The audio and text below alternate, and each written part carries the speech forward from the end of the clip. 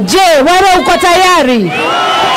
Filimbi ikipigwa utakuja uelewe katiba ya Kenya imepatia ushukani mkuu kwa mwananchi. Wewe ndio unaweza kuamua vile unataka Kenya iendelee. Tumesikizana?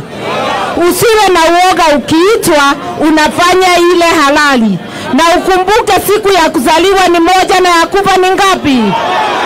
Kwa hivyo usiusiwe uoga. Ile tunaomba.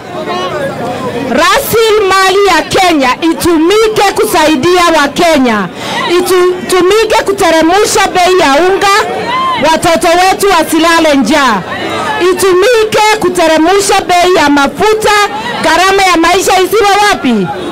Tena, itumike kwa kazi mtaani, vijana wetu wapate kazi. Tunataka Kenya iendeshwe kwa niaba ya Mkenya wote na si kwa niaba ya wachache.